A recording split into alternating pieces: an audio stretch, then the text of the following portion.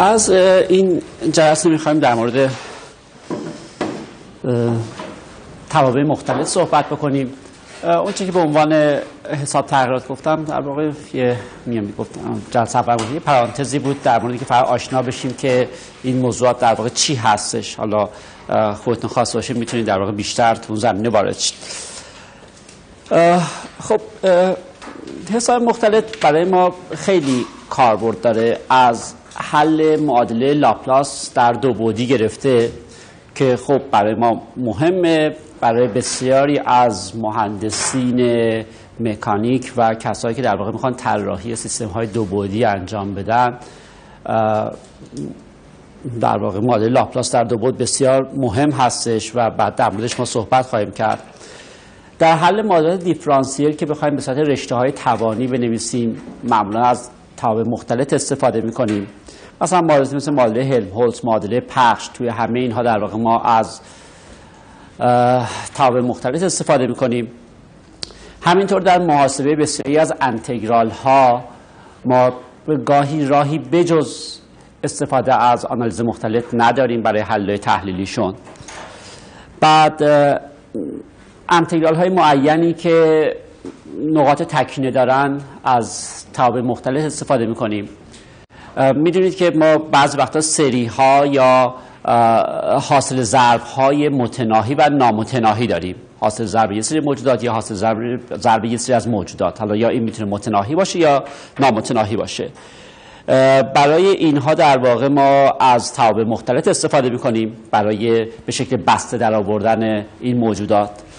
بعد دیگه البته باز هم بگم در جایی مثل مثلا تبدیلات انتگرالی در بسیاری از در واقع تبدیلات انتگرالی اون کرنل انتگرالی که در واقع اونجا داریم از نوع تابع مختلف هستش.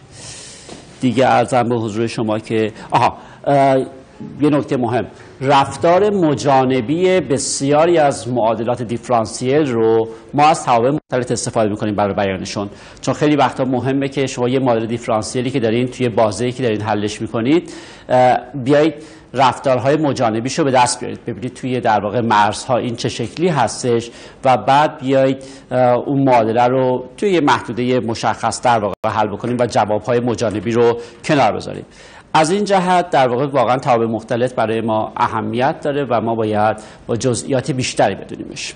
خب من از اونجا شروع می‌کنم که یه تابع خیلی معروف و همیشه از این تابع توانی. اگر شما x به توان دو داشته باشید مساوی با a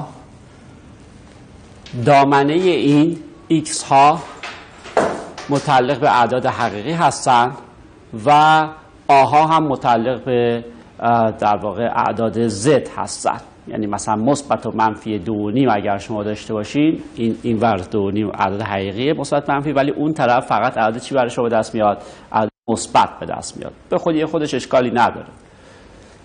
اگه بخواین عمل عکسش رو تعریف بکنید باید عمل چی رو تعریف بکنیم؟ جذر رو تعریف بکنیم. وقتی که جذر رو بخوام تعریف بکنم جذر x مساوی به این طرف بنا به تعریفمون فقط موجودات در واقع حقیقی مثبت هستن. همه موجودات در واقع ما نمی‌تونیم بنویسیم. یعنی چیزی به نام منهای مثلا دو رادیکالش رو در واقع ما نمی‌دونیم. یه ترفند خیلی خیلی ساده اینه که من بیام عددمو چیکار بکنم؟ گسترش بدم. فقط همین.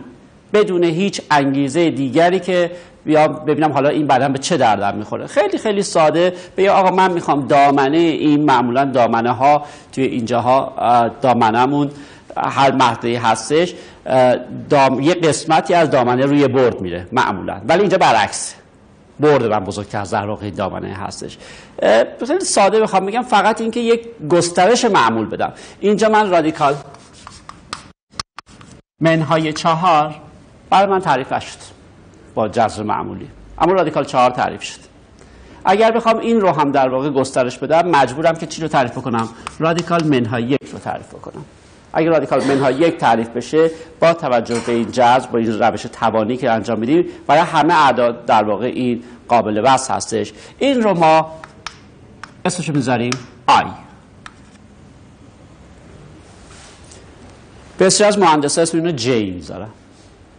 خیلی مهم نیست. مهم اینه که در واقع شما رادیکال منهای یک رو به عنوان یک موجود در واقع تعریفش بکنید. اون موقع هر عدد دلخواهی رو میگم که تمام اعداد دلخواه من یه از یه قسمتش همون اعداد حقیقی هستش که قبلا بود.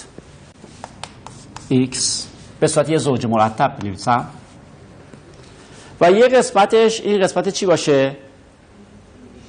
حاصل ضربش با این رادیکال منهای که باشه با آی باشه. آی. هر دو اینها x و y متعلق به R هستن. x هم یک عدد حقیقیه y هم یک عدد حقیقیه. ولی این زوج مرتب متعلق به این z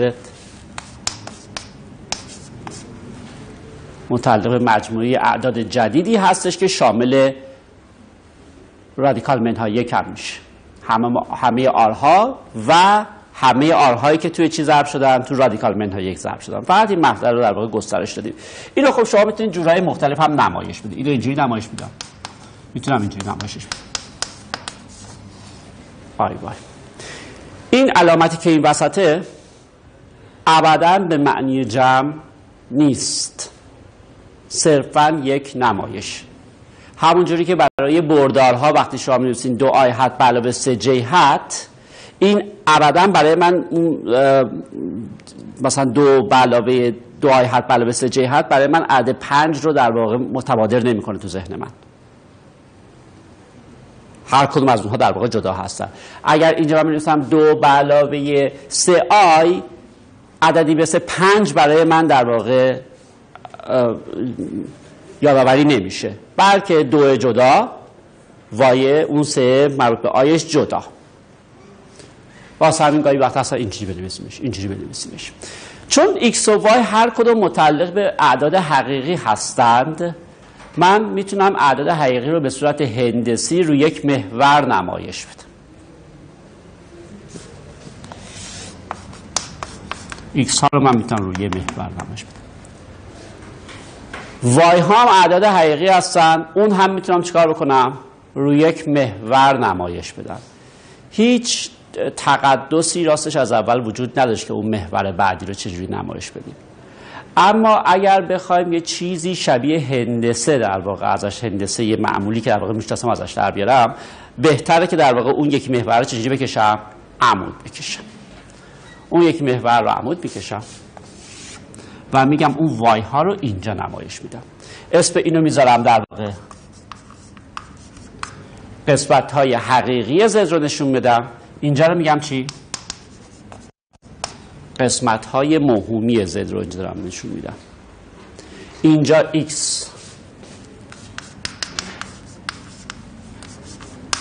هستش ریل زد. y هستش چی؟ قسمت موهومی زد.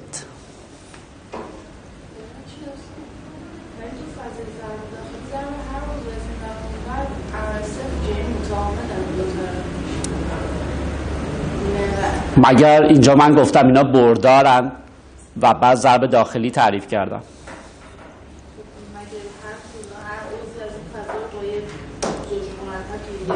مگر هر زوج مرتب بردار است؟ نه. ما یه ترم داد زدیم که هر زوج مرتب بردار نیست بردار چیست؟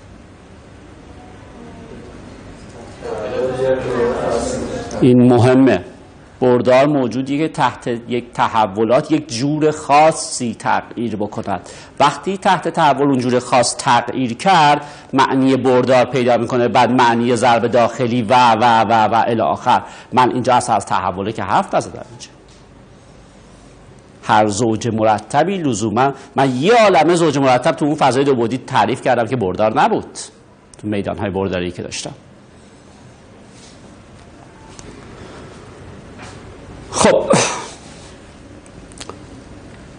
این رو همونطوری که الان شما میگید بعضی ها ممکنه بیان به صورت مانسته برداری بخوان نظر بگیرن و برای این x و y بخوام بنویسن ولی ابدا اینو من به معنای اون برداری که اونجا میگم نظر نمی‌گیرم. برداری که اونجا می‌گفتین اگر تو اون فضا میباید طول ها در واقع حقیقی باشه توی اینجا این موجودات اگر آی وای بخواید نظر بگیرید این رو آی وای به تبار دو میشه منهای وای دو. مگر اینکه آیشو بخوای بذاری کنار. پس برای این چی گرفتی؟ یعنی این رو اگه بخوای برداری در نظر بگیری این یه آر به صورت ای. ایکس. وای. اما این قرار این ای دو این دوتا یه, یه همسنگ نیستن یه جور نیستن. اون یه چیز دیگه است. من اینو بردار در نظر نمی‌گیرم. یه چیز دیگه این که, این که خیلی خیلی واضحه که هم چیزی ندارم. قصد حقیقی جدا قصد موهوم جدا. خب بعد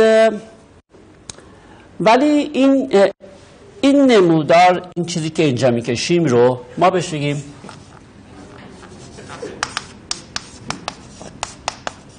صفحه آرگانت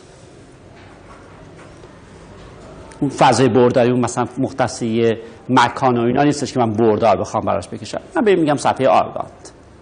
یعنی x و y اون این x و این y نیست. دو تا عدد حقیقی هستن. ولی این دو تا عدد حقیقی رو با این نموداری که اینجا کشیدم من می‌تونم جورهای مخت... دیگری هم نمایشش بدم. خب این رو می‌تونم با این فاصله و این زاویه هم نمایش بدم. یعنی x رو بنویسم. R cos دو ستا y رو بنویسم r سینوس تتا اون موقع z میشه r کوسینوس تتا به علاوه i r سینوس تتا خب بعد از r فاکتور بگیرم i سینوس تتا بعد اینو این کار می‌کنم. یک منهای تتا دو دو فاکتوریل به علاوه تتا چار چار فاکتوریل الی آخر به علاوه آی تتا منهای آی تتا سه سه فاکتوریل به علاوه آی تتا پنج پنج فاکتوریل الی آخر. بحث سینوس کوسینوس رو دادم.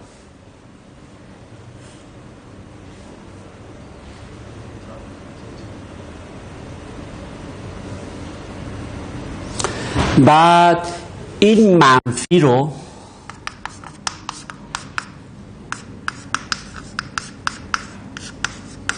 اینجوری می نویسم منفی یک رو نویسم آی به توان دو. بعد این یکی میشه. به توان چهار.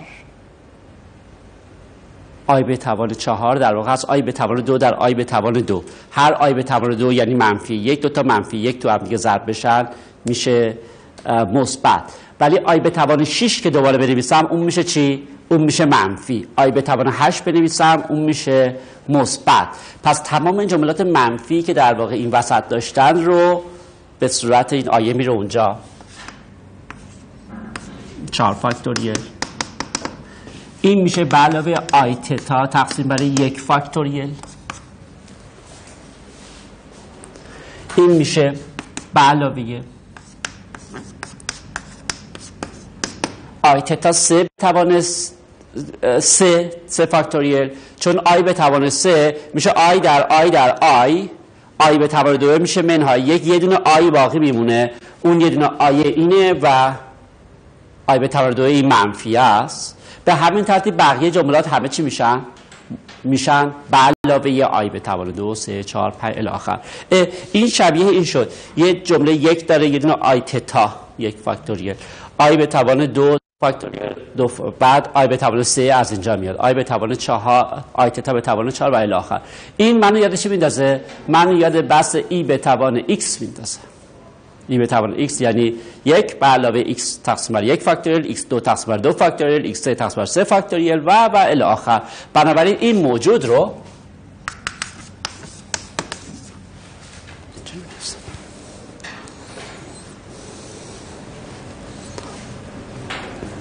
پس اتحاد خیلی خیلی خیلی مهم و جالب اینجا به دست آوردم.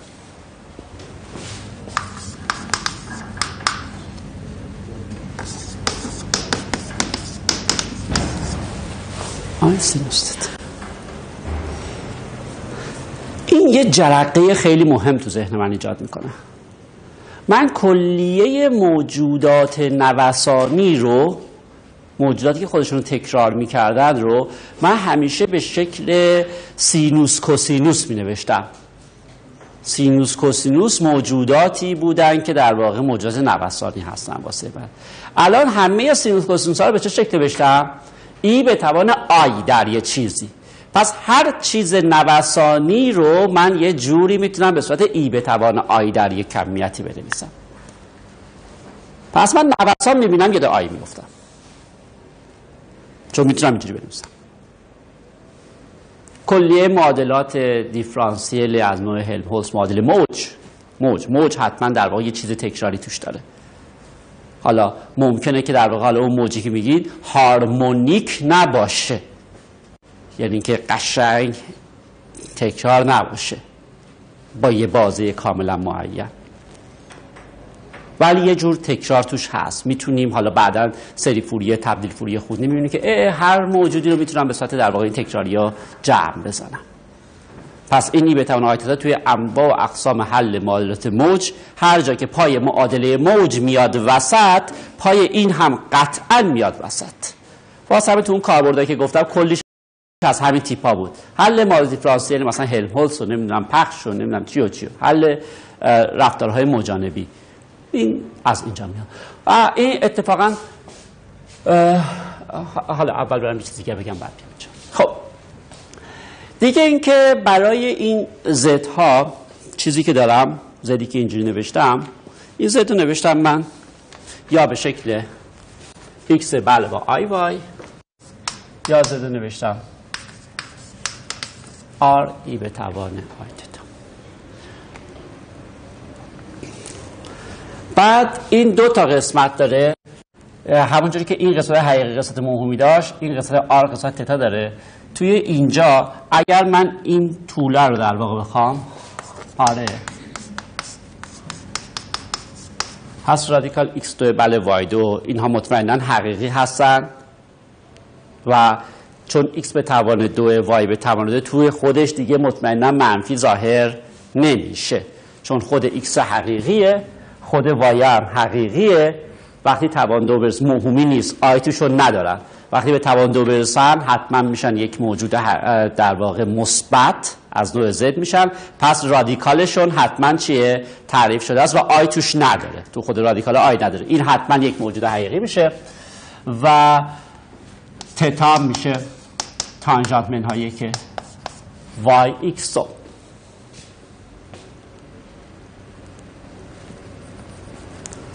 این رو اسمش می‌ذاریم. اندازه زد یا مدول زد؟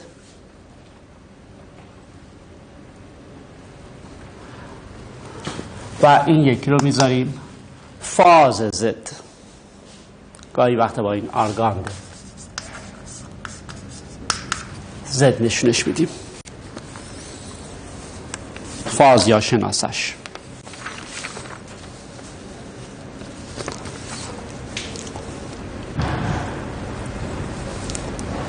دو تا عدد مختلف داشته باشم.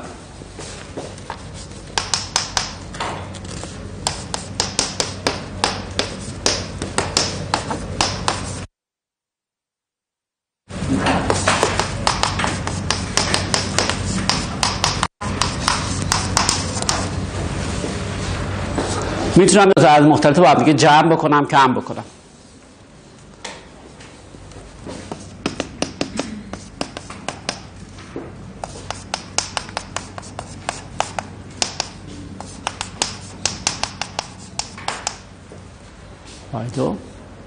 ولی اون طرف نمی‌تونم به سادگی این کار رو انجام بدم اون شکلی بنویسم. فقط همینجور بنویسم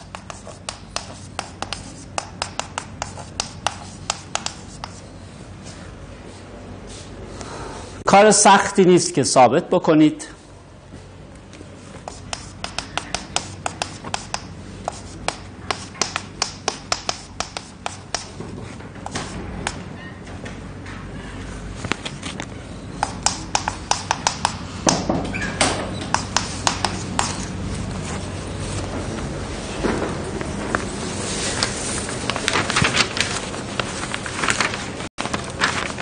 کار سختی نیست شبیه همون بردارها. بهش بیفتیم نامساوی مسلسی در بردارها. شبیه همونه ولی این این نامساویه بعدها واسه ما خیلی کارسازه. استفاده از عدد مختلف در تو موج ها این مفاهیمی مثل مفاهیم تداخل رو که این که در واقع موجهای مختلف وقتی به جاها یه جایی برسن فازهاشون اگر اختلاف داشته باشه یه دفعه اونجا اتفاقای عجیب غریب میفته توی این در واقع نهفته است. دو هر, هر موج رو با یه موجود مختلف بخوام بگم جای دیگه بخوام این دوتا موجود مختلف با هم دیگه جمع بزنم رو روی هم دیگه بذارم اصطلاح روی همگذاری موجها فازهاشون می‌تونه چیزهای متفاوت داشته باشه. اندازه هاشون می‌تونه چیزهای متفاوت داشته باشه. وقتی چیز متفاوت در واقع حاصل بشه یعنی مفهوم چی به وجود میاد؟ تداخل پراش در واقع همه چی از اونجا به وجود میاد. که در واقع من امواج رو با اینها بررسی کنم ولی زردشون نه.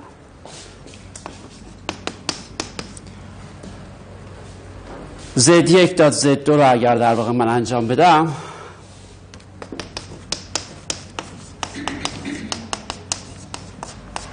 تتا دومش یعنی در واقع اندازه زد یک زد دو. هست اندازه زد یک اندازه زد دو. آرگاند زد یک زد دو. چه آرگاند زد یک. به علاوه آرگاند دو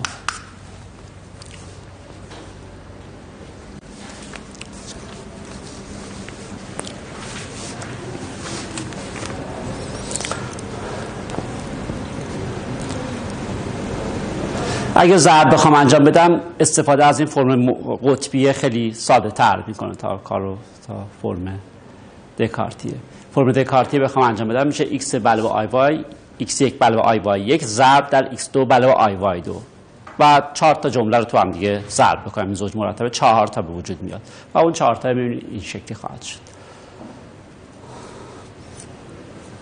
از این خاصیت استفاده می‌کنیم و یک قاعده خیلی مهم به دست میارم. فرض کنم اعداد مختلفی داشته باشم که همه اندازه هاشون واحد باشه. فقط فاز هاشون در واقع با هم متفاوت باشه. این تا از نا وجود داشته باشه که فاز هاشون هم چی باشه؟ یکی باشه. اون موقع اگر اینا رو در هم دیگه ضرب بکنم میشه ای به توانه آی انتتا چون اینا اینجوری میشن دیگه تو هم دیگه ضرب میشن. اگه این اندازه ها واحد باشه ایناشون هم یکی باشه. میشه تتا یکی تتا یکی تتا یک تتا یک تتا یک تتا یک. این تا از این تتا یک میشه اینجوری. از یه طرف دیگه اگه اینا رو بخوام از طریق این ضرب معمولی بخوام انجام بدم اینا میشه زد یک زد دو زد یک زد دو زد یک زد دو. هر کدوم باید چجوری بنویسم؟ کوسینوس تتا به علاوه آی سینوس تتا بنویسم. میشه؟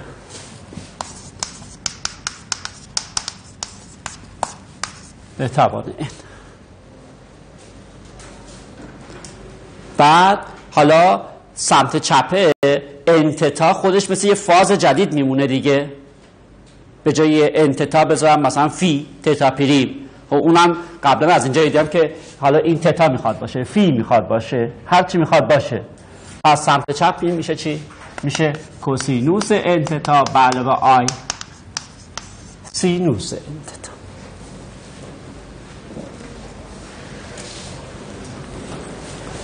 این جور دیگه هم می‌تونید ثابت بکنید چجوری می‌تونید ثابت بکنید؟ سمت راست و کوسینوس تتا و سینوس تتا رو بس دو جمله ای بدید. بعد اون موقع بیایید آیا رو تواناش رو در واقع مرتب بکنید و بعد آخرش نشون بدین که اون رابطه است. توی فصل پنج آرتکل اونجا که در مورد سریا و اینا میگه یکی از مسئلهاش اینه. میگه اونو بیاین بس بدیم به این پایینیه برسید. بس تو جمله. ولی خب اینجا با استفاده از عدد مختلف مفهوم عدد مختلف می‌بینید که چقدر ساده در واقع نشون داده میشه.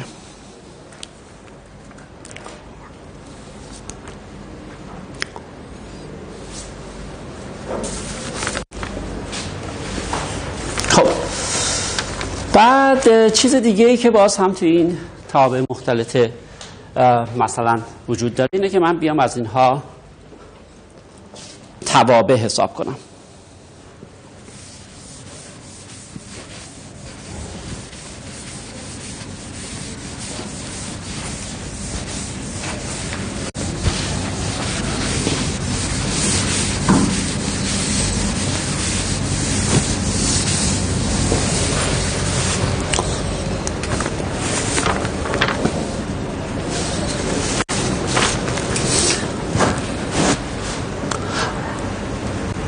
قبل از تعابیر چیز دیگه هم بگم اینجا.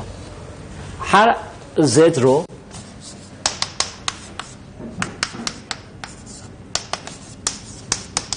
نوشتیم به هر زد ما یک عدد مختلط دیگر نسبت میدیم. اسم می‌ذاریم زد star زد ستاره. و بریم میگیم مزوج مختلط اون عدد زد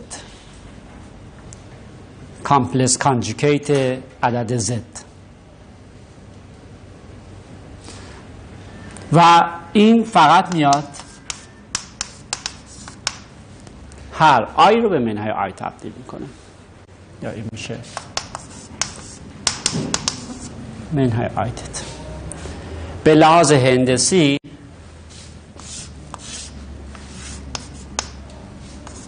این اگر زده باشه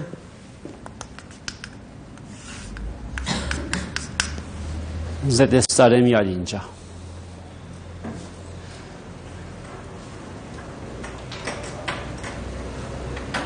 پس اگه مسائل دو بودی اینجوری داشتم و خواستم در واقع انعکاس رو بیان بکنم یه جوری انعکاس رو می‌تونم با چی بیان بکنم؟ با زد استار بیان بکنم.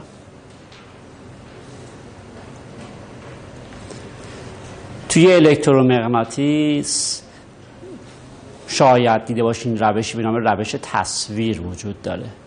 وقتی در مورد روش تصویر در دو بعد نه در سه بعد. در دو بعد در واقع کار می‌کنیم. این ترفند خیلی به کمکمون میاد. یه بار توی زد قرار گرفته یه بار دیگه تصویرش حتما در زد استار قرار می‌گیره. بعد اون موقع ضرب و تقسیم اینا خیلی ساده میشه. میشه نگاشته قشنگی ازش به دست آورد. بعد اون موقع جالبه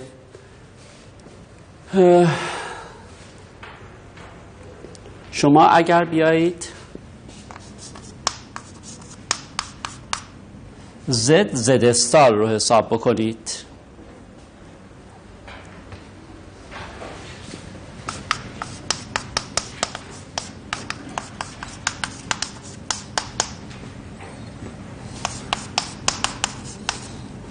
دو بله دو.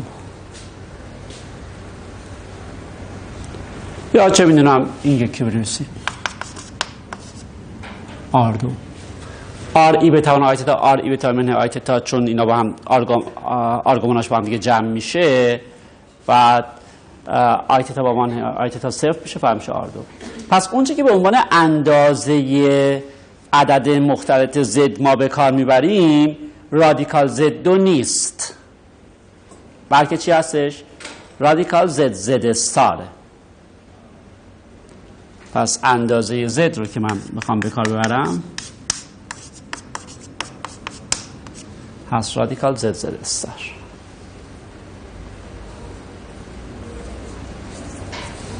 این خیلی فرق داره با زد دو.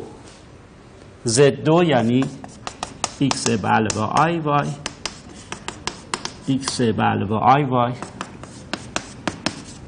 x دو منهای y دو. به علاوه i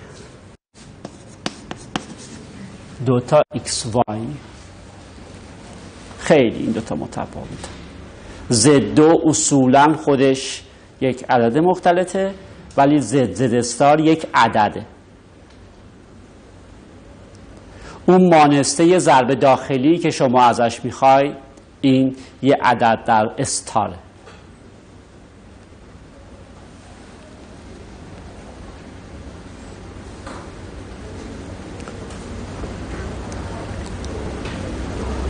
خب.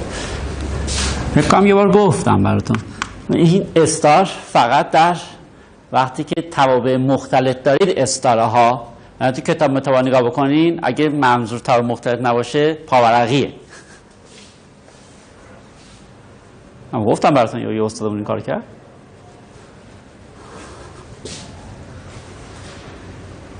خب.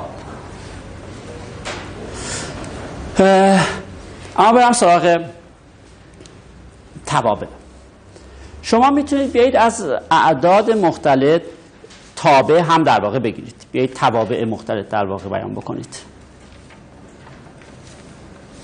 یعنی بیام. W Z بیان بکنم. مثل این چیزی که اینجا الان گفتم. اینجا این هستش الان. یه W Z. تابعی از Z مثلا اینجا خیلی ساده بود شد چی؟ شد Z به توان دو. ممکنه شما بیاین سینوس Z بنویسید. ممکنه ای به توان Z بنویسید. ممکنه هر چیزی هر ترکیباتی از Z رو در واقع بنویسید. وقتی علال اصول ترکیباتی از Z رو می نویسید اون موقع مثل این حتما خودش چی میشه؟ یک موجود مختلط جدید میشه. این موجود مختلط جدید رو من با یو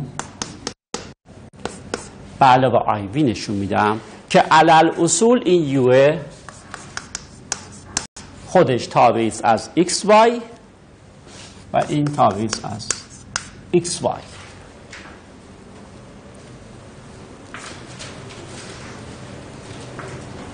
مثلا توی این مثال W مساوی Z2 U چی شده؟ X2 منهای Y2 و V چی شده؟ 2XY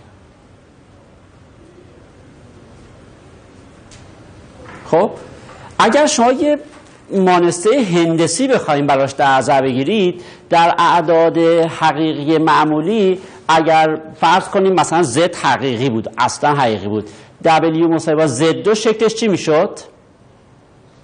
می‌شد یه سهمی درسته؟ W مساوی Z2 و W مساوی مثلا Fx مساوی x2 این در واقع یک y هستش یک متغیر و یک تابع هست را متغیره و این در واقع یک همچین چیزی در واقع واسه ما می‌شد. ولی وقتی الان W, WZ دارم می نویسم این مانسه هندسیش اصلا ساده نیست کشیدنش چون اصلا هندسه هی اینجا واسهش تعریف مثل سابق ندارم.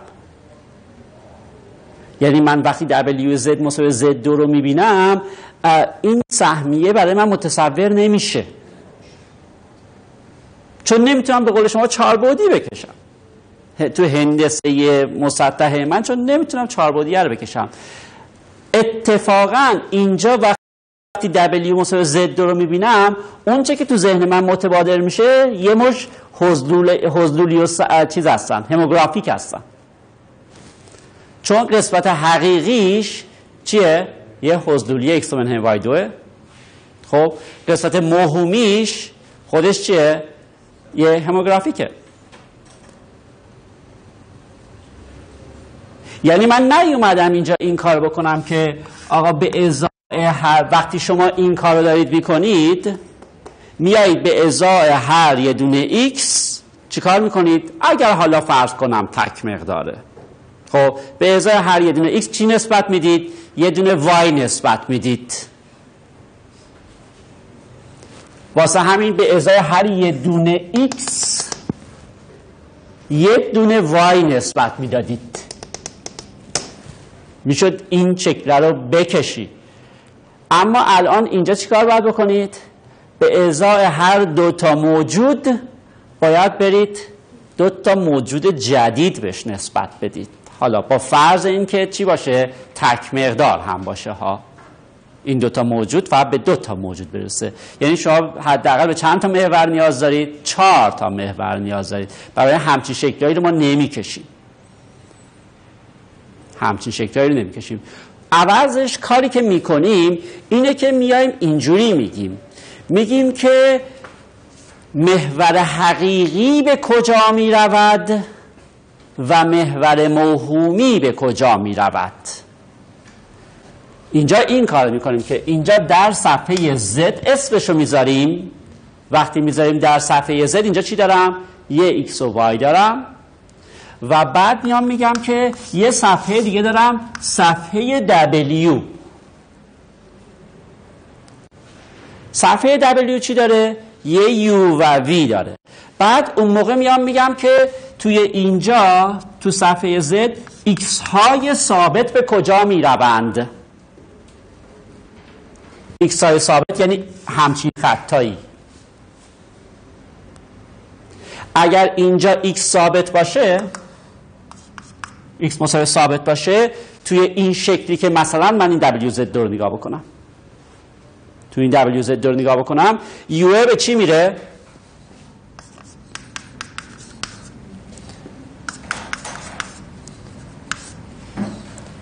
سی دو منهای وای دو میره. چون وای آزاد هستش این خودش یه سهمیه منتقل شده میشه. خب ویه به چی میره؟ به دو وای میره.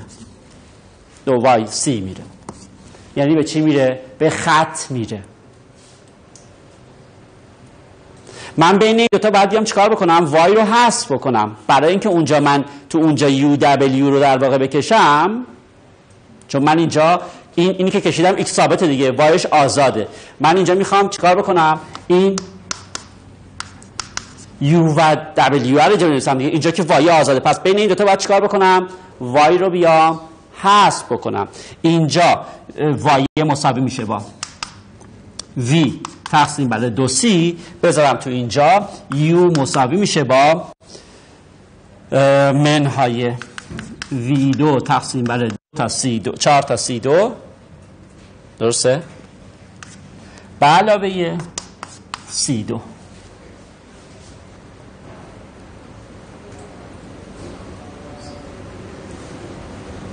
درسته؟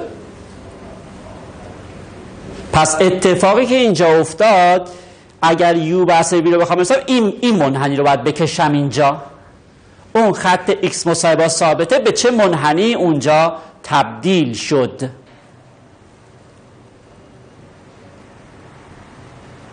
روشنه؟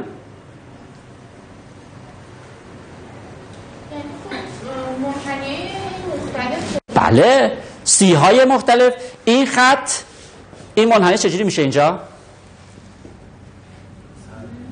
سهم سهمی کجکی میشه دیگه. به اندازه سی باید منتقل بشه.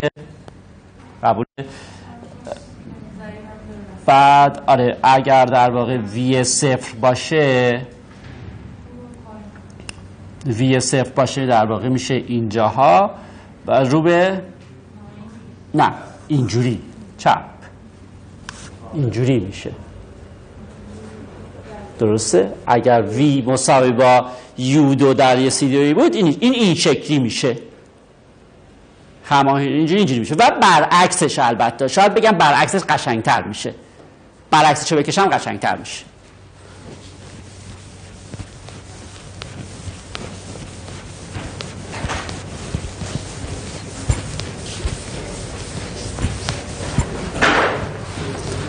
برعکسش قشنگتر میشه.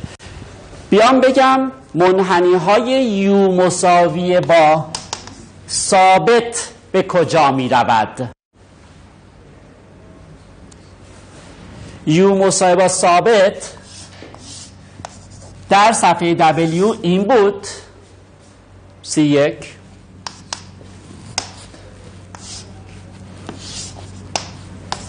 در صفحه Z چی میشه؟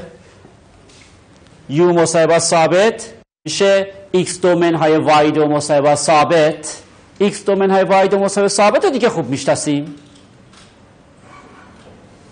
x دومن های واید چیه؟ اینه. درسته؟ x دومن های واید و مصاحب ثابت دیگه اینه که این ثابته کیو تعیین می‌کنه؟ این فاصله هر رو تعیین می‌کنه.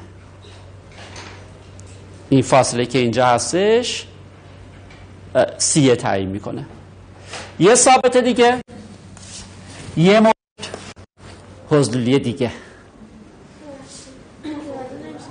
اصلا اولا چرا ثابت یه چیزی رو ثابت می‌بینیم. بعد هم اینجا x رو ثابت گرفتیم بر اساس اون یو وی رو در آوردیم. بعد اینجا چرا یو رو ثابت گرفتیم؟ به خاطر اینکه شکل دومن های واحد رو من آسان تر می‌کشم. شکلش راحت تر تو ذهنمه. من نمی‌فهمم می‌خوایم چی کار کنیم. واسه مثلا الان ما می‌خواستیم شکل واسه این. مهمترین کاری که می‌خوام بکنم می‌خوام بگم که پیچیده است. مهمترین کارم اینه که این مثل توابع معمولی آسون نیست. تابع معمولی رو شما یه عدد به x می‌دادی یه عدد به y واسه y پیدا می‌کردی بعد یه, ش... یه هندسه میکشیدی فوری یه هندسه میکشیدی. مهمترین کارم اینه که وقتی من w z رو می‌نویسم من به چهار تا محور نیاز دارم. چون به ازای یه ایکس وای یه منحنی اون ور یو وی رو من باید هر کدوم از این یو خودش وابسته به ایکس و وای وی وابسته ایکس و وایه پس من این کار نمی‌تونم بکنم. کاری که در عوض انجام میدیم اینه که میایم میگیم محورهای مختصات چجوری تغییر می‌کنن. محورهای مختصات در صفحه z یعنی اونایی که ایکس ها ثابتن. اونایی که y ها ثابتن. درسته؟ ایکس ثابت یعنی چیزی که به موازات y ه موازات محور موهومیه. y مساوی ثابت اون چیزیه که در واقع به موازات محور چیه حقیقیه. فقط می‌تونم بگم محورهای حقیقی چجوری تبدیل میشن. اومدم مثلا من ایکس ثابت رو گرفتم یو وی اینجوری شد. وای رو بینش هست کردم یه رابطه یو وی به دست اومد. ولی این شکلش اومدیم بکشیم دیدیم که باید این سهمیه رو بکشم. گفتم که برعکسش رو نگاه بکنم. بیام ببینم مثلا توی این فضا توی این فضا یعنی W مساوی با رادیکال Z چون این برعکس اینجا W مساوی Z بود. بخش Z مساوی با رادیکال W این یه تابع هستش. همین اتفاق میافتاد دیگه واسش U مساوی با ثابت به چی میره؟ این محور حقیقی اینجا تو اینجا شبیه چی هستش؟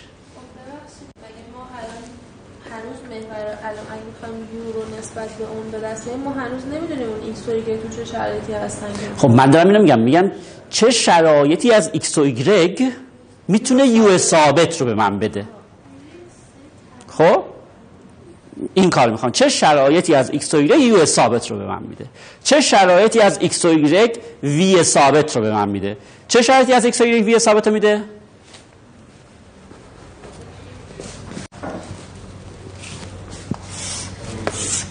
هموگرافیک شکلای اینجوری وی ثابت به من میده. این شکلا این منحنیا.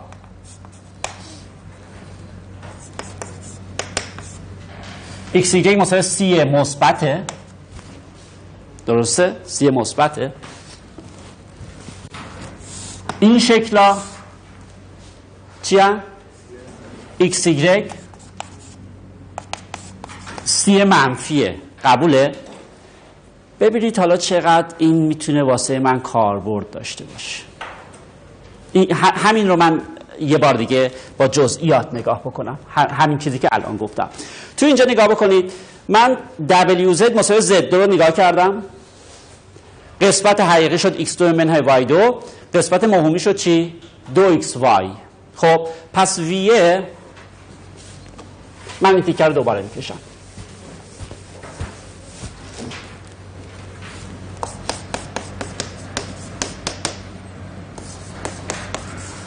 دو تا ایکس وای خب پس من یه جا دارم صفحه W. یه جا دارم صفحه چی؟ صفحه Z. خب.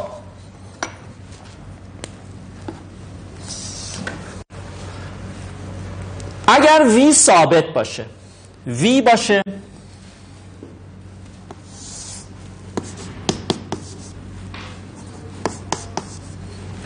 مساوی یک دوم.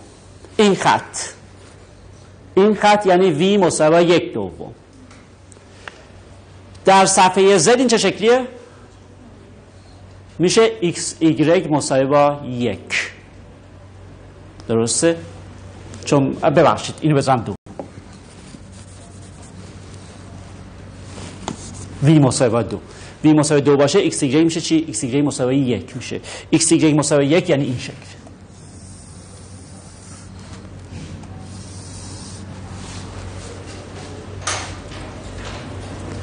وی باشه منهای دو. وی باشه منهای دو. توی این صفحه اینجوریه. ایکس دیگری اون بر چی میشه؟ منهای دو. میشه این یکی شکله.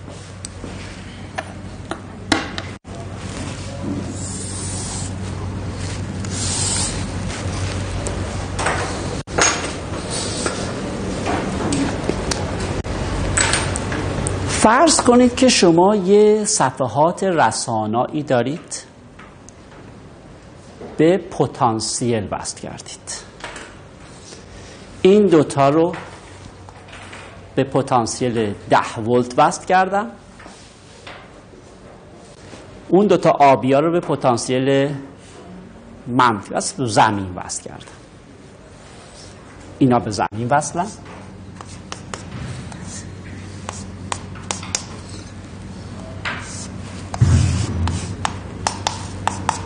پتانسیل ده ولت است.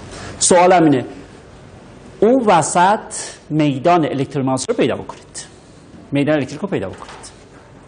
اینجا.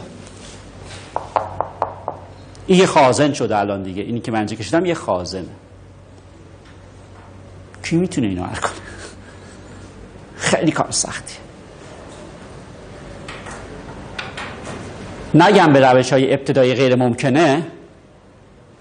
ولی خیلی خیلی سخته. ولی ما میگیم که به جای اینکه اینو حل بکنی بیا برو توی یه صفحه مختلف دیگه با این تبدیل. این صفحات اون به این تبدیل میشن. ده ولتی. البته اول باید این شرایط جفتشون برقرار هست یا نه. خوشبختانه برقراره. خوشبختانه برقراره. که یعنی که توی اونجا برای اینکه شما بیاین مدل الکترومغناطیسی اونجا حل کنید باید برید مدل لاپلاس حل بکنید اونجا. خب بعد ببینم که مدل لاپلاس اگه اونجا برقرار باشه تو اینجا برقرار هست یا نه. توی اینجا این یکی در واقع به زمین وصل. اینجا باید این مدل رو حل بکنید اینجا باید این پتانسیل رو دست بیارید. با فیزیک دو هم بلدیم حساب کنیم اینجا. این یه خازن تخت. این یه خازن تخته. اینجا بلدم حل بکنم اونجا بلد نیستم حل بکنم من میام اینجا حل می‌کنم اینجا یه چیزی بر اساس چی به دست میارم؟ بر اساس یو وی به دست میارم. بعد می‌خوام ببینم تو اونجا چی میشه رابطه یو وی رو دارم اونور تبدیلش می‌کنم به اون طرف.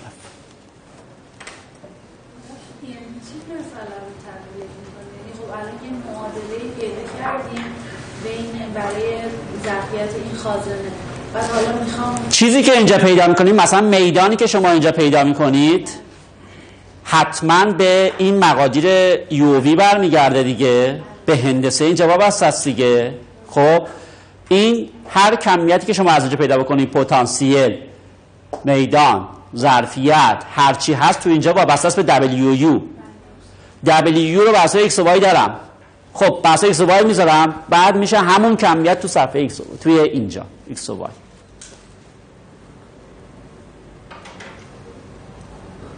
به این کار میگیم مپینگ.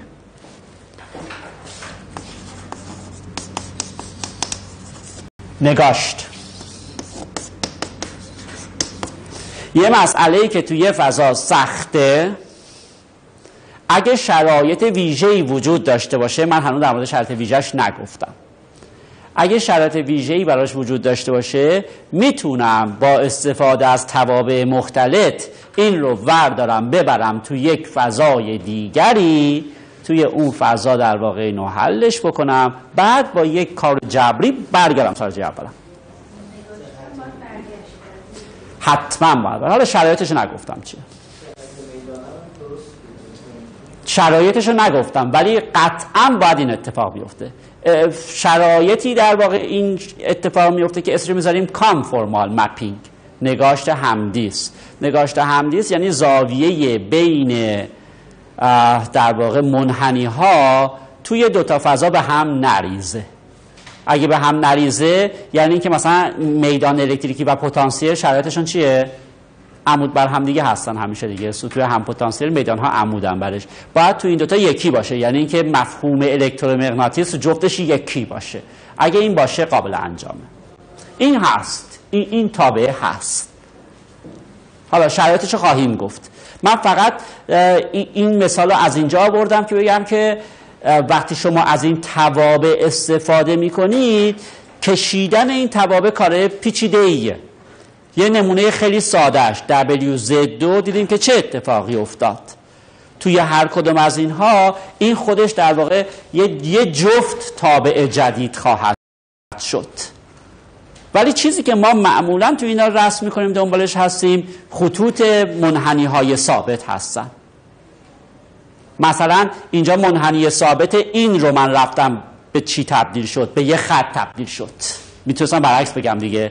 منحنی x y ثابت به چی تبدیل میشه؟ به یه خط تبدیل میشه. X y ثابت های مثبت به خطای بالا x y ثابت های پایین به خطای پایین.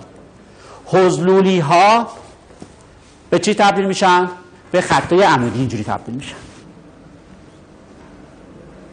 هم به یه سری خط در واقع تبدیل میشه اینکه این کار رو بتونید بکنید یعنی شما خمهای مختلف و چجوری تحت این نگاش تا به همدیگه تبدیل بکنید یکی از وظایف مهم شماست. با آنالیز مختلف که یاد می‌گیریم حالا یکی از وظایفمون اینه که من تحت این تبدیلات بدونم که چی به چی تبدیل میشه. البته توی خیلی از کتاب ها در واقع منوالا. از پیش خیلی از آدم این کار رو کردن. مثلا شما ممکنه دایره ها براتون مهم باشه. 20 تا تبدیل گفتن که چه تبدیلی دایره رو به چه چیزی تبدیل می‌کنه. دایره رو به خط تبدیل می‌کنه دایره رو به یه دایره دیگه تبدیل می‌کنه. داخل دایره رو به یه بیرون دایره تبدیل می‌کنه. حالا ما در مورد اینها یه مقدار صحبت خواهیم کرد. ولی این خیلی مهمه که شما بتونید این کار رو خودتون انجام بدید. به این شکلهای مختلف به چی تبدیل میشه؟ مثلا یه نمونه دیگه ای الان اینجا انجام بدم.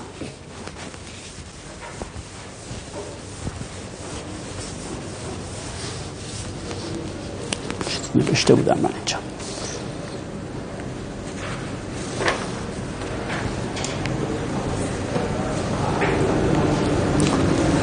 مثلا یه تا چه چیزی از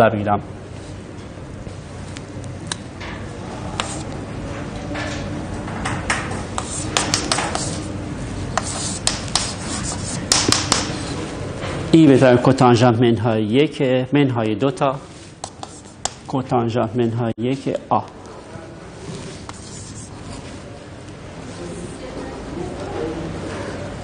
اعتراف کنم نمی‌دونم من اینو چرا توی حاشیه اینجا نوشتم ولی من می‌دونم این کجا به درد می‌خوره احتمالا یکی یه جایی زمانی ازم سوال کرده بود رفته بودم اینو حساب کرده بودم اینجا برای شما بردم نوشتم این در مسئله پراکندگی ذرات در کوانتوم مکانیک خیلی به دردم می‌خوره.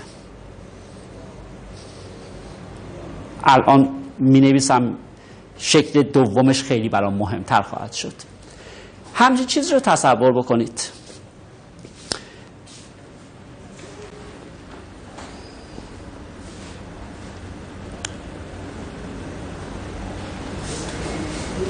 اینو من میام این کار می‌کنم. فرض کنم که این کوتانژانت منهای که آ مساوی دبلیو باشه.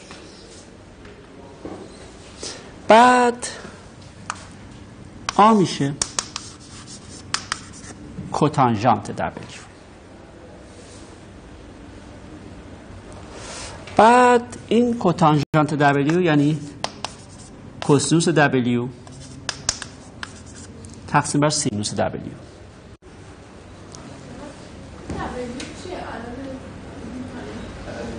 بیا فعلا اینجا یه دونه تغییر متغیره. فعلا تغییر متغیر است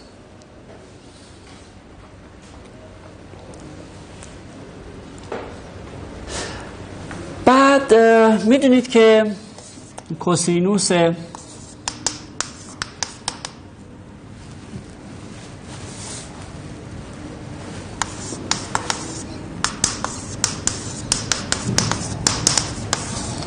به علاوه i سینوس تتاست. درسته؟ مزدوج مختلطش. e به توان منهای i تتا میشه چی؟ کوسینوس تتا منهای i سینوس تتا این دوتا رو با همدیگه جمع بکنم.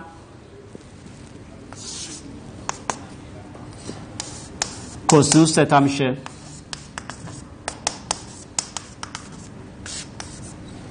دوم. قبوله. و یه بار از همدیگه کم بکنم.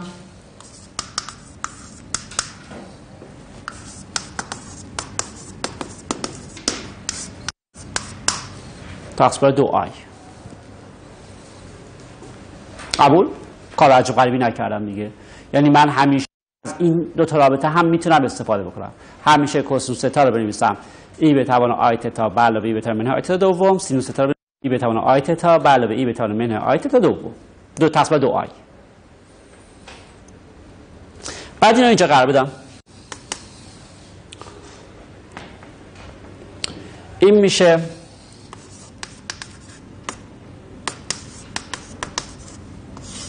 دبلیو تقسیم بره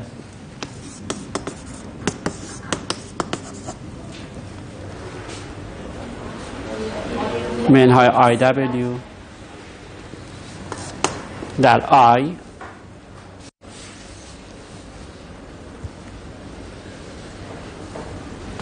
بعد رو یه ضرب تقسیم بکنم.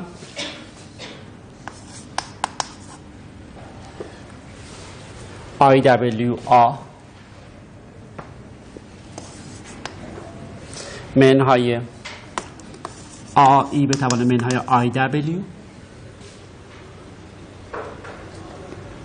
مساویه با آی ای به توان آی دبلیو به علاوه آی ای به توان منهای آی دبلیو.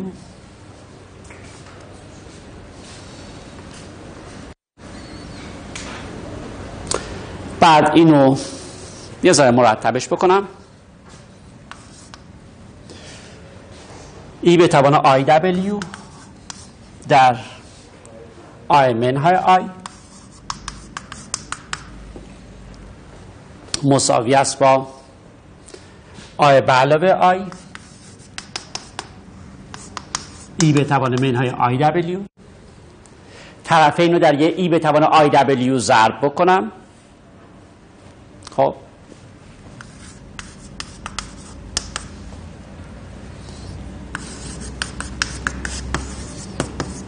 آی منهای آی.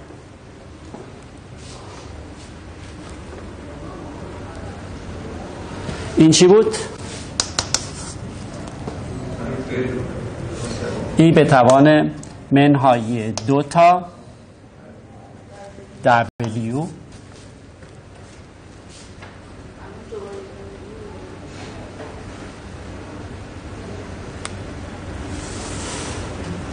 بعد W پس ای به توان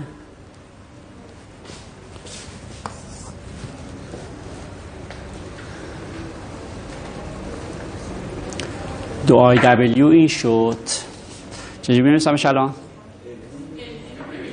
ln وایست ln خیلی مهمه توی اعداد مختلط. ln خیلی حساسه.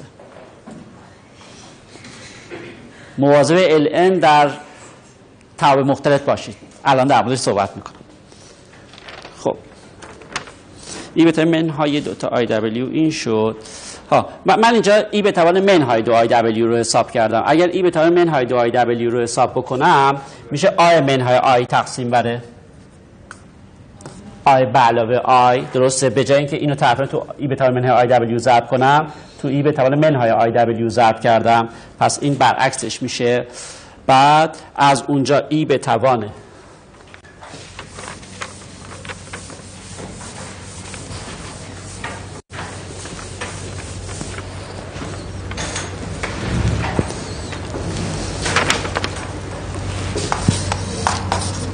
دو i. کوتانژانت منهای یک.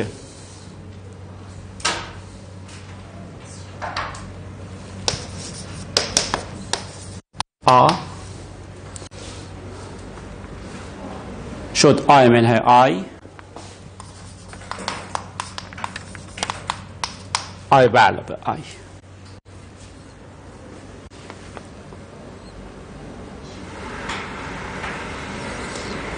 درسته. الان اینو به توان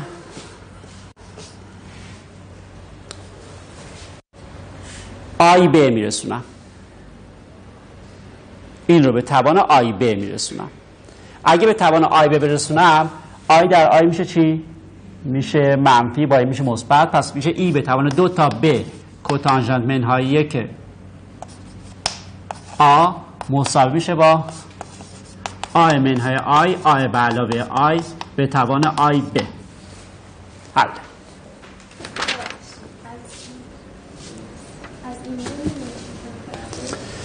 تا اینجا اومدیم؟ قبوله. الان به جای این موجودی که اینجا هست این اینجوری بود دیگه. آره دیگه. ببین ای به توان من دو تا کاتانژانت منهایی که آ کاتانژانت منهایی که آ بود دبلیو. درسته. پس من به جای این دبلیو گذاشتم کوتانژانت منهایی که آ. پس شد ای به توان منهای دو تا آی کوتانژانت منهایی که آ شد این. من دنبال چی بودم؟ من دنبال این بودم.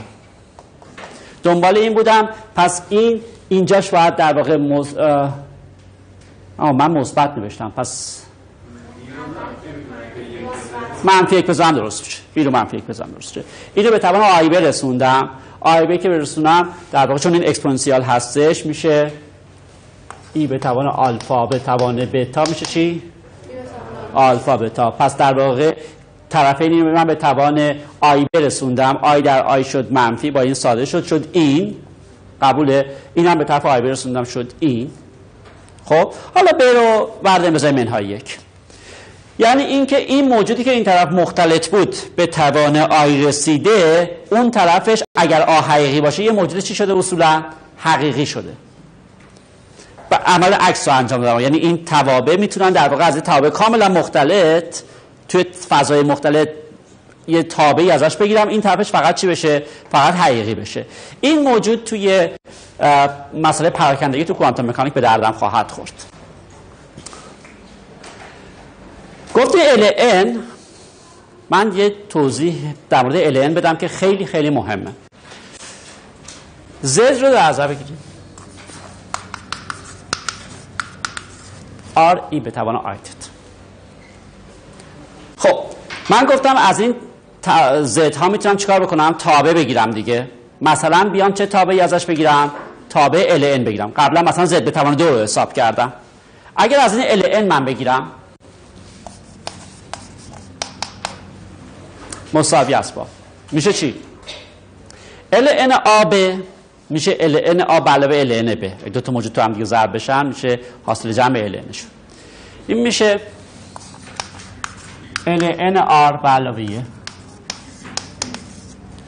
LN ای به توان آی تتا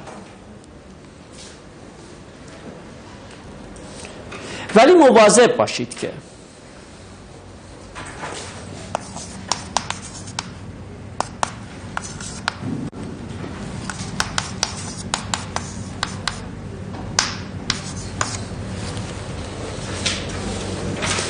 ای به توان آی تتا یعنی ای به توان آی تتا به علاوه دو ان پی.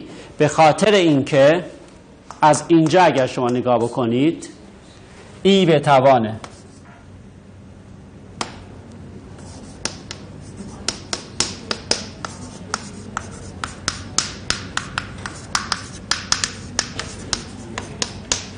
دو ان پی میشه. سینوس ان پی همیشه چقدره؟ صفره. خب. کوسینوس دو ان پی میشه چقدر؟ میشه یک. کوسینوس من ان پی نذاشتم به خاطر اینکه بسته به اینکه ان زوج باشه یا فرد باشه اون موقع اون بر میشه چی؟ میشه یک یا منهای یک. واسه همین من گذاشتم کوسینوس دو ان پی. یا اون ان پی گذاشتم. این همیشه میشه یک. خب یعنی گویا اینجا شما تو یه دونه یک اگه ضرب بکنید مثل اینکه همیشه تو چی ضرب کردید ای به توان آی دو ان پی ضرب کرد پس این دوتا علل اصول یکی هستن. خب اما الان اینجا چی میشه؟ اینو اگه بخوام بگیرم پس این با این یکی بود از اولش. ولی وقتی ال ازش می‌گیرم دیگه یکی نمیشه. این میشه ln r. به علاوه i در دو پی به علاوه تتا. یعنی یک طابقه بی نهایت مقداریه. حالا اسمشو نگاشت. یک رابطه یک به یکی پیدا نمیشه. شما یه, نقطه داشتید تو این فضای آرگاندتون.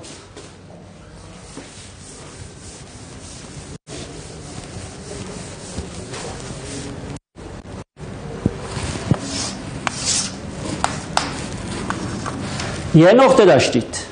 اینجا آره. این تتا دو ان پی که انجام بدید یعنی چیکار کردید؟ دوباره رسید به همین نقطه. نقطه جدیدی نیست. همین نقطه است. اما ال داره میگه چی؟ یا عالمه نقاط مختلفه. درسته؟ نیست؟ شما تابع علم اینجوری ما شاید اینطوری کردیم ما تابع علم اومدیم یه زبانی از انتگرال یه تابعی تعریف کردیم برای اعداد طبیعی. اعداد حقیقی بعد اول من یه موجودی که اصلا نمی‌دونم چیه رو گذاشتم جلوی چرا نمی‌دونم؟ تابع علم بعد انتظار دارم واکنش تابعی داشته باشه. نباید چرا؟ چرا چون الان علم من اصلا برای اول تابع لوگاریتم طبیعی برای مقادیر مثبت تعریف نه من دیگه می‌خوام الان برای زدام تعریف بکنم دیگه. همون جوری که همون جوری که الان می‌خوام تعریفش بکنم دیگه. الان می‌خوام بگم چه اتفاقی میفته همون جوری که رادیکال رو شما وقتی تعریف کردی اول شما فقط برای حقیقی تعریف کرده بودی. برای مثبت تعریف کرده بودی. درسته؟ ولی ما اصولا آی رو وارد کردیم برای اینکه اینو گسترشش بدیم برای هر عدد حقیقی. رادیکال رو وقتی آی رو تعریف کردم هر عدد حقیقی رو دیگه شما می‌تونید ازش رادیکال بگیرید. توان نگم رادیکال. قشنگتر اینه که بگم توان کسری. رادیکال یه حالت خاصه. توان کسر توان هیچ مشکلی هیچ وقت من نداشتم. خب؟ اما توان کسری فقط برای اعداد مثبت من داشتم. بعضی از کسری ها نها مثلا کسری یک سوم من مشکل نداشتم. کسر یک دوم مشکل داشتم. کسر یک چهارم مشکل داشتم. خب اومدم چیکار کردم؟ اومدم با آی اینو تعمیمش دادم. این همون هم برای زده الان ال زد میگم خب مشکل داره دیگه. الان همینطور که داریم میگیم میگم اگه همون قواعد ال بخواد در واقع برقرار باشه اینجا الان مشکل داره. خب من اینجا یه نقطه است اما ال بی نهایت نقطه اینجاست. بی نهایت نقطه اینجاست دا. چون فقط چیش داره تغییر می‌کنه؟ اینش که یه عدده قسمت حقیقیش یه عدده قسمت موهومیش هستش که تتای قبلی اون هی دو ان پی دو ان پی دو ان پی به ازای ان های مختلف بی نهایت عدد بهش در واقع اضافه میشه. خب؟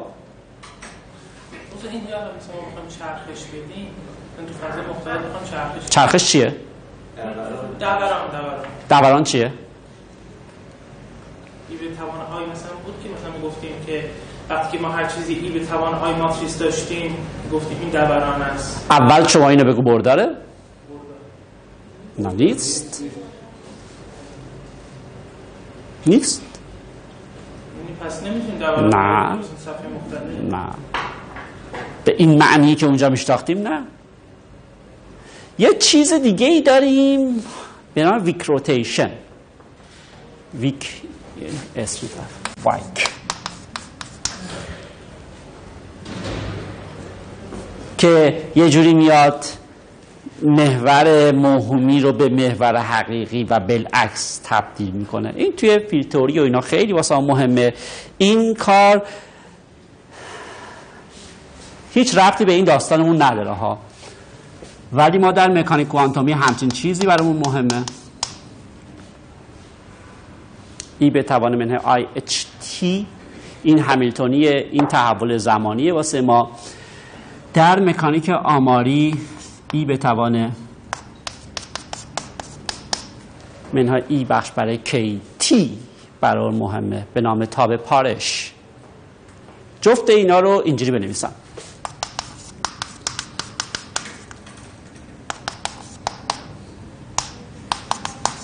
اچ بتا. توی یه جا بتا معنی زمانه توی یه جا بتا معنی عکس دماست یه فرق عمده دیگه همین دوتا دارن یکیش مختلطه موهومیه یکیش حقیقیه. ادعا میشه که تمام در واقع فرمالیزمی که شما در مکانیک آماری دارید و مکانیک آماری خیلی قدیم تر از مکانیک کوانتومی بوده رو کلی بلدیم از اون استفاده بکنیم رو میشه همونها رو تو مکانیک کوانتومی انجام داد. ولی به شرطی که این دورانه رو داشته باشه. همچین دورانی مختلف به حقیقی رو بتونم تعریف بکنم. این یعنی یه دوران 90 درجه ای که مثلا بتا به آی بتا تبدیل شده دیگه. خب نه اصلا اصلا فراموش کن. این اصلا یه چیز جدیده. کانونیک نیست اینا. آها چی رو میگی؟ چی کانونیکه؟ نه. اون آنسامبلت کانونیک باشه بعد بعد ببینید که چه اتفاقی میفته اینجا. ولی اصولا اصلا شما برای آنسامبل کانونیک نظر بگیرید. تابع پارشتون اینه. تابع پارشتون این, این چنین میشه. کلاسیکی. حالا یکیش ولی این با این هیچ فرق نداره. این دو تا رو به هم دیگه تبدیل کردن یه ضوابطی داره که اسم ویک روتیشن و اصلا ربطی به داستان اینجامون نداره. یه چیز دیگه است. ولی به هر حال دارم اداشم اینو می‌گفتم که این اتفاق الان اینجا میفته و اون دوران هم ندارم که بچرخونش رو حقیقی. بنابراین کاری که می‌کنیم اینه که برای توابع این چنینی که تک مقدار بودن رو داره خراب داره می‌کنه. شما به از یه نقطه شروع کردی ولی توی اون فضا به یه نقطه نرسیدی به یه عالمه چیز رسیدی. ما میایم میگیم که این خط رو حذف کن. و بهش میگیم خط برش کاتلاین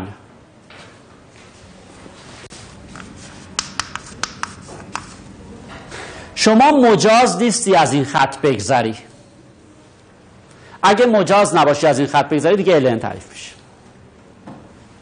دیگه مشکل نداره. مشکلاتی که از اینجا ناشی میشه دیگه حل میشه. حل خب یعنی مجاز نیستیم دیگه. برای این توابع شما این همه سفر رو میپوشونه ها؟ ولی نمی نه اون خطم میپوشونه. ولی شما مجاز نیستی ازش رد شی. چون تموم شد. دیگه تموم شد.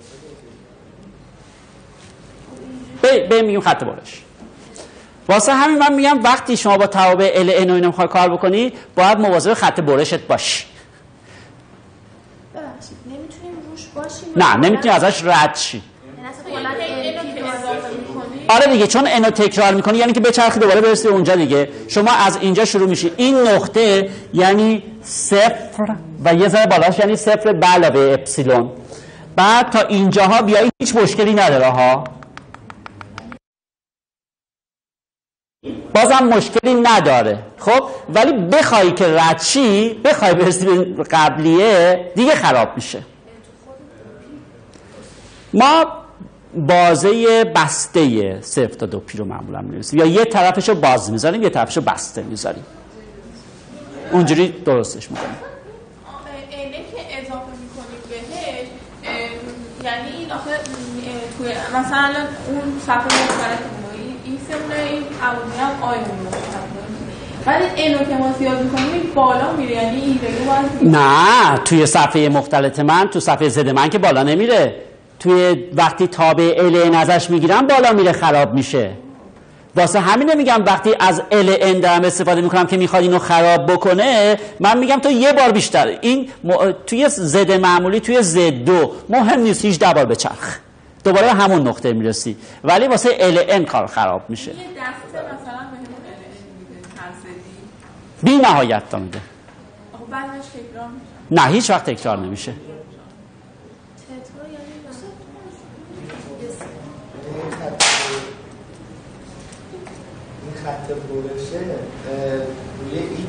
نه فقط روی ایکسه نه نه نه رو آر نیست روی ایکس مساوی صفر.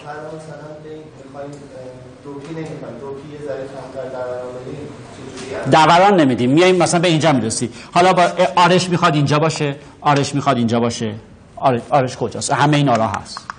خط x مساوی با صفر. چون من تتا رو از صفر گرفتم. اون نقطه واسم مهمه.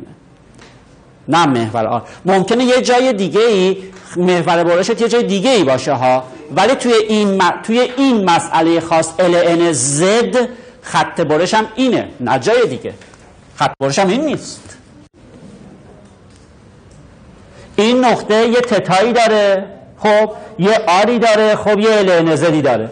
این نقطه همینطور این نقطه همینطور این نقطه. اما اگر من بچرخم از این ردشم تتا من بشه تتا علاوه دو پی. از این ردشم نقاطی که در واقع اینجا هستن تو صفحه زد همون زد قبلی است. ولی تو فضای الینش یه جای دیگه است. تتای تتای رد شیم. بهش میگیم خط برش.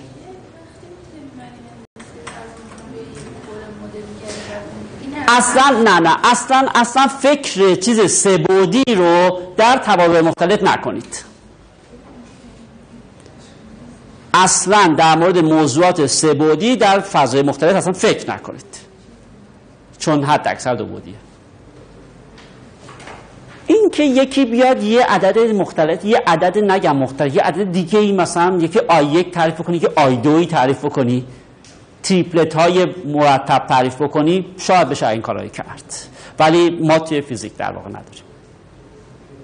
ولی اصولا توابع مختلفی که ما به دست باش سر کار داریم فقط برای دو بودیاست یا استوانه ها استوانه ها یعنی سبودی هایی که روی یه محور چی هن؟ کاملا تقارن دارن. اون خطایی که کشیده بودم راستش اونا خط نیستن که. می‌دونی چی که؟ صفن. ولی یکیش در واقع تا بینهایت داره میره. حضوری هایی که کشیده بودم اونا راستش خط نیستن. اگه بخوام در مورد الکترومغناطیسم حرف بزنم تلقایی هستن که بینهایتن. همون سفر رو شکلش کردن. است- اصطلاحا ما وقتی روی محور در واقع تقارن داریم میگیم بهش استوانه.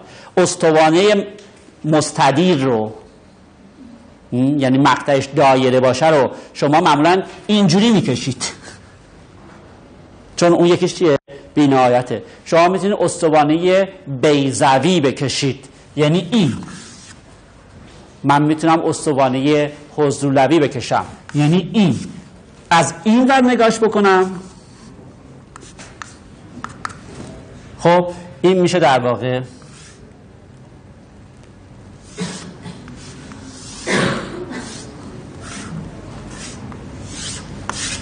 تلخ هایی که اینجوریه و این یکیش تا چی رفته؟ تا بی نهایت رفته. استوانه ای که مقطعش بیزی باشه استوانه ای که مقطعش حضلولی باشه استو...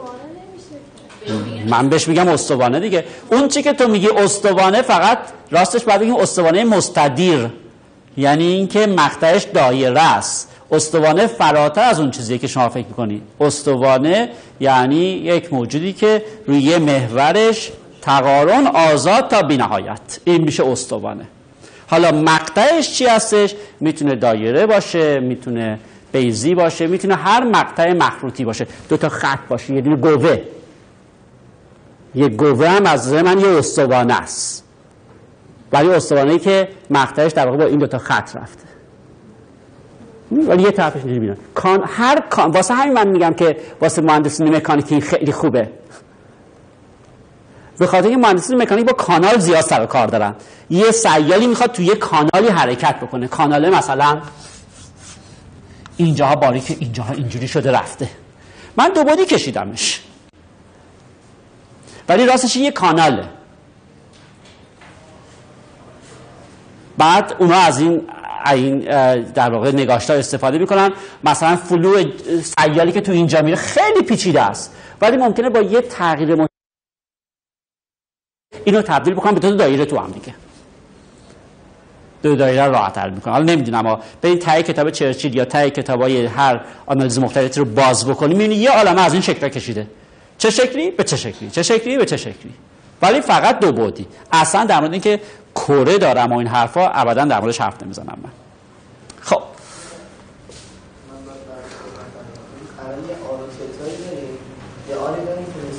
آره هم متغیره تتا هم متغیره. هر دو متغیرن. چون زد دارن. بله.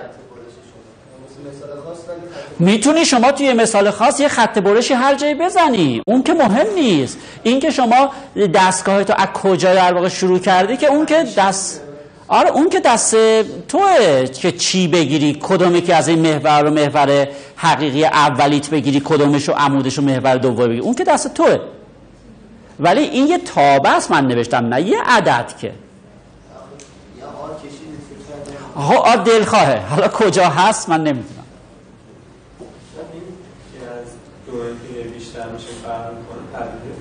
نه نداریم.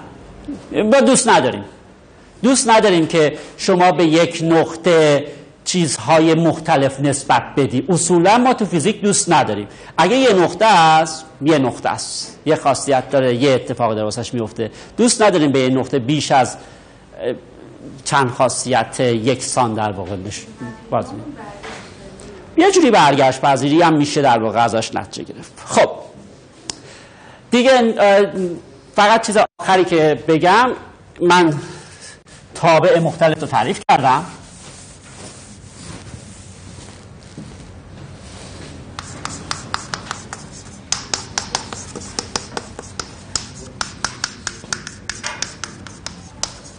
همونطوری که دیدید کشیدن شکل و اینها توش پیچیده است. ما باید نگاشت ها رو در واقع توش استفاده بکنیم. فقط بگیم که خطوط ثابت به چی میرن. حالا یا سا... یو ثابت وی ثابت به چی یا ایکس ثابت وای ثابت به چی.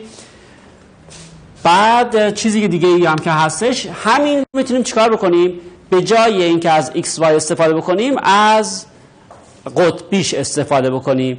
اگر از قطبیش استفاده کنیم به هر حال این W توی صفحه خودش یه قسمت حقیقی دارد به ازای هر ایکسی یه قسمت موهومی دارد دیگه. پس می‌تونه یه اندازه داشته باشه یه فاز داشته باشه. پس اینو من می‌تونم به صورت آر آر تتا در ای به توان آی تتا بزرگ آر تتا بنویسم. که این آر بزرگ هستش. یو دو اکس و وای. به وی دو اکس و وای. و تتا آر تتا. یعنی تانجانت منهاییه که وی تقسیم بر یو.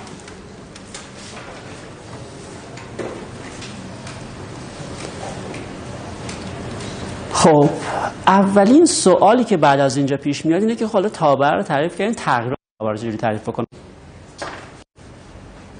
یعنی مشتق. برای یک تابع معمولی y مساوی با fx روی محور مشتق رو از اینجا شروع می‌کردیم. می‌گفتیم x رو تغییر میدم y تغییر می‌کنه.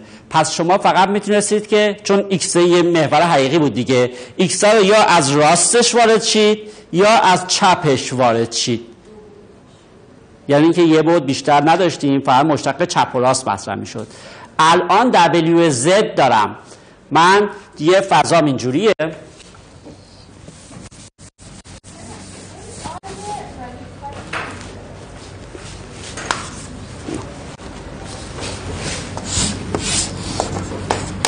الان ز یه نقطه Z اینجاست. خب بعد WZ تعریف می‌کنم. بعد حالا می‌خوام بگم اگر Z یه کوچولو تغییر کرد W چجوری تغییر می‌کنه؟ یه کوچولو تغییر می‌کنه یا خیلی تغییر می‌کنه؟ مفهوم مشتق از اونجا میاد دیگه.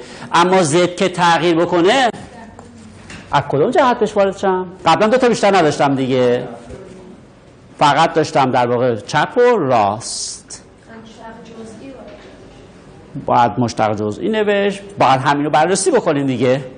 باید یه چیزی بررسی بکنیم که چیزی رو به عنوان حد تعریف بکنم چیزی رو به عنوان مشتق تعریف بکنم که از هر طرفی که وارد شدی یه جور تغییرات به شما بده. تحت چه شرایطی این اتفاق میفته؟ اصطلاحا بهش میگیم شرایط کوشیریمان و می‌خوایم اینو به دست بیاریم. در چه شرایطی من می‌تونم مشتقه رو تعریف بکنم؟ و وقتی تعریف شد حالا مشتقه چی میشه؟ و خب این نقطه شروع آنالیز برد آنالیز مختلطه این چیزی که امروز گفتیم خیلی آسون جبره در واقع مختلط هستش. حالا یه جزئیاتش خط برش و نمی‌دونم شک کشیدنش و اینها بماند. بعدا بیشتر در مورد صحبت می‌کنیم. ولی قبل از اون در مورد یه خوری باید آنالیز مختلف صحبت بکنیم.